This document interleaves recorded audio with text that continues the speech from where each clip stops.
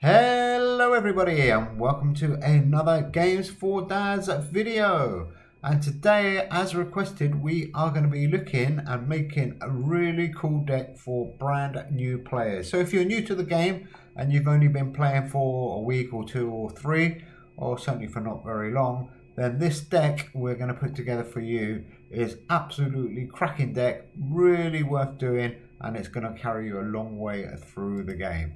So, welcome to the video. Let's have a look. What are we going to be doing today? an Immortal Sue-Bones hybrid deck. So we're going to put in all of the Sue-Bones in the black cards. I'm not going to go through them one by one, um, but there's 10 of them, and there they are there. I'm just flashing them up for you. You can have a look. They're all in the same set. Sue Bones, or Sue Black in the Bones, I should say. They're science cards. Look those. Collect all 10 of those. Stick them in a deck uh, and they all buff each other. They're fantastic cards if you're a new player. There's no limited cards. They're all common cards in this deck. Dead easy to get. There are a few legendaries, but they're easy to get legendaries. Um, so if you do some trading or you're opening some packs, you're probably going to get half of these cards pretty quickly when you first start playing. So the first half of the deck, as I said, is Sue Bones. And the second half is the eight Immortals. You've probably heard a lot about the eight Immortals. Really strong like Sue Bones, all eight of these history cards buff each other. Uh, and again, they're dead easy to play, no limited, uh, or no limited cards, I should say. They're all common and rare cards. Uh, I think there's one legendary uh, in the eight Immortals.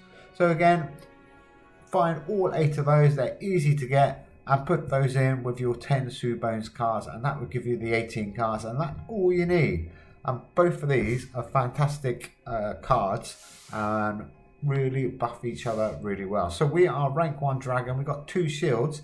Uh, we're going to take this into the league and see how well it does. Uh, for a new player, you'll probably find it even easier to win than what we're probably going to experience today because we're fairly high on the XP. Um, but let's see how it goes anyhow. So that's the deck. The deck's there on the left. I'll leave that up for you. But like I said, if you're a new player, definitely try and put this together because you're going to win yourself a lot of games. And you don't even have to worry too much about the order you play them. Try and play three yellow and three green together, uh, but it doesn't really matter if you don't. But it's best if you try and play them together in their set. Okay, we've got a game.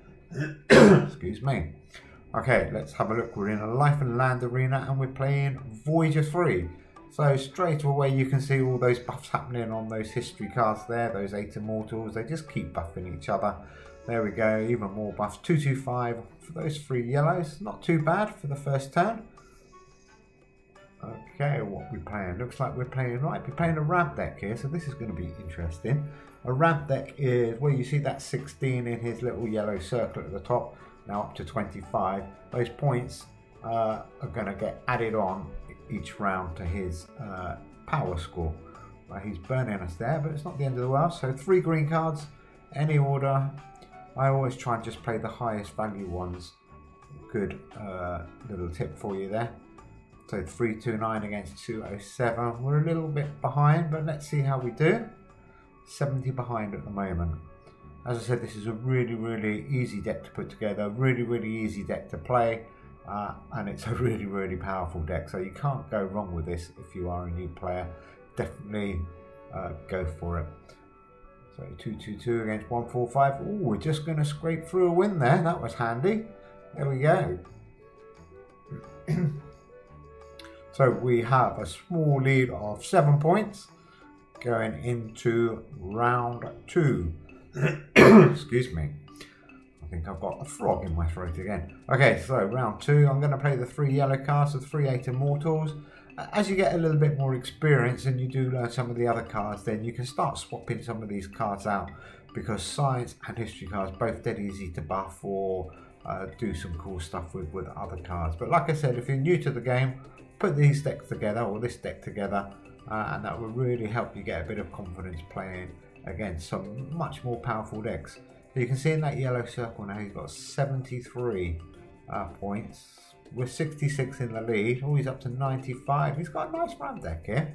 But Sue Bones, three cards there, 263.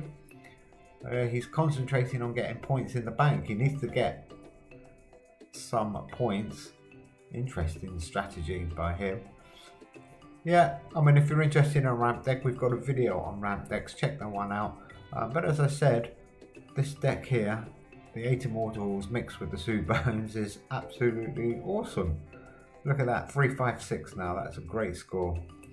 I think we're going to cruise through this round. We had a nice big lead. So yeah, there we go. We're well in front at the end of round two. 209 points. That's great. And you will notice now that each turn we play, uh, the cards get a little bit more uh, high scoring. Uh, we still got loads of energy as well, so that's good. That was one thing I was not too sure about with this deck, because the energy this week is only 7 per turn once you use up that starting energy. 365, there we go, for those three two Bones cards. Against a 3-2-3, a little bit of a 50 buff there. So we're still within touching distance. Look at his yellow circle at the top there, 110 he's got now. So he starts with that at the start of every turn. Oh, okay, he's lost 47. That's a bit more like it. So I've only got two of them. They're burning. I'm going to use them and that green one. Three to eight. I wanted to get the highest possible score there. That's why I went with those three. Um, so check that pink box on the card. That's the score you're going to get. Uh, the power for each turn. So we're 46 behind I think we might. Let's see, what can we do here? We've only got 12 energy. That's a bit tight. 252. What's he doing? Let's try and play three cards, shall we? We can play. Yeah, we can play those three. Three, three, three. That's better. Oh, that was a good change. I'm glad we did that. I think that is going to win us the game. So there you go, guys. If you are just starting out in the Cue cards universe and everything. If you're a new player, then this is an awesome deck for you to put together. Like I said, it's really easy to build. Uh, have fun. If you do need any tips, leave us some comments uh, underneath the video. And if you do want to trade, look us up in the trading. Our in-game name is Dada the Goat, and we'll be happy to try and help you build these two or these decks. So good luck. Thanks for watching, and we will speak to you soon. Bye.